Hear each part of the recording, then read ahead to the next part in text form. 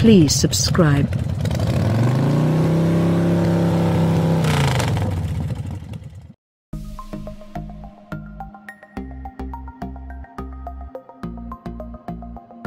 Tennessee's Central Basin resembles the Italian Alps about as much as Kevin Bacon looks like actual bacon. But on our drive through the volunteer state, the Alfa Romeo crossover named for the continent's iconic mountain pass transported us instead to a different European motoring mecca. Running southwest out of Nashville, the 444-mile Natchez Trace Parkway plows a narrow squiggle through a verdant forest and conjures up a sort of neo-Nürburgring. The way the manicured easement meets old-growth oak, the way the asphalt never runs straight, the way one blind corner feeds into another, it all evokes the holy green hell. Mind the lycra-clad cyclists, dispatch with the dawdling sightseers, and ignore the 40 and 50 mile per hour speed limits of the Natchez Trace, and the Alfa Romeo Stelvio alights with verve. It steers with a steady linear effort. The brake pedal responds obediently to slight pressure modulation, and in general Alfa's brake-by-wire system felt more natural and better sorted this time around than it has in Giulia sedans that we've driven. The Stelvio S&T drive small it has slightly longer than the Audi Q5, the BMW X3, and the Mercedes-Benz GLC class but there is a precision to the controls that invites you to use more road, to corner closer to trees that crowd the driving line, and to drift nearer the drainage ditch at the pavement's edge. In this segment, only a Porsche Macan inspires more confidence.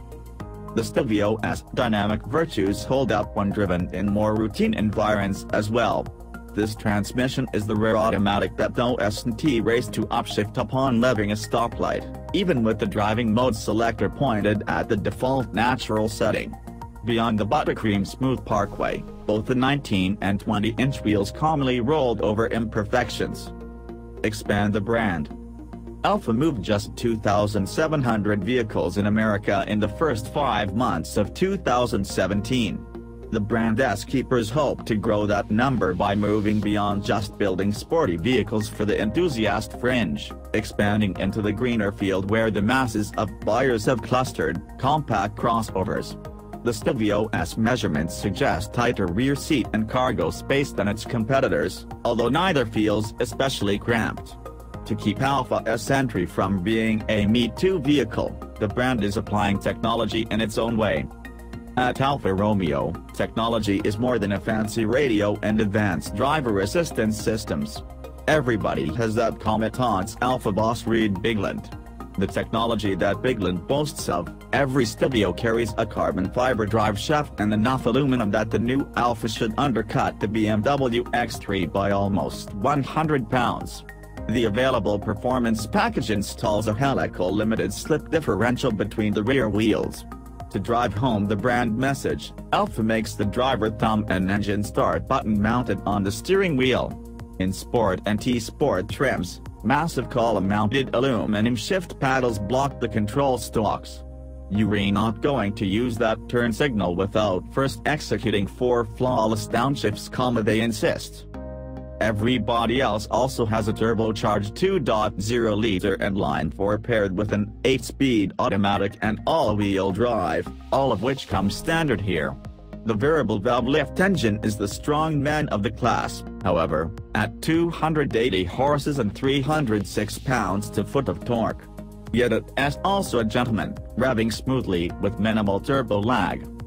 Stelvio pricing starts from $42,990 for a nicely equipped car that includes 10-way power seats for both the driver and passenger, real leather, many competitors use a synthetic material as standard, 18-inch wheels, proximity key entry, remote start, adaptive headlights, rear parking sensors, a backup camera, and a power liftgate. The $2,000 step up to the T-trim adds heating to the front seats and the steering wheel, satellite radio, front parking sensors, and an 8.8-inch infotainment display, up from 6.5 inches in the Bass model. Sport variants, available in both base and T configurations, include paddle shifters, aluminum interior trim and pedals, larger wheels, painted brake calipers, in red, black, or yellow, and gloss black exterior trim. A couple of different driver assistance packages bring blind spot monitoring, auto-dimming exterior mirrors, adaptive cruise control, forward collision warning with automated emergency braking, lane departure warning, and automatic high beams. Apple CarPlay and Android Auto compatibility will become standard equipment within a couple months of the Stelvio's late June arrival, but that feature is unavailable in the initial batch of cars. While Maserati's remake has been assembled partially with Chrysler leftovers, Alfa gets its own premium-feeling switchgear and the new infotainment system that is, at least for now, exclusive to the brand.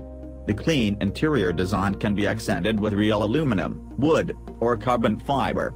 At the same time, the designers didn't attempt to dress up some of the plastics, such as the untextured, flat finish trim that surrounds the unfortunate, ambiguous electronic shifter.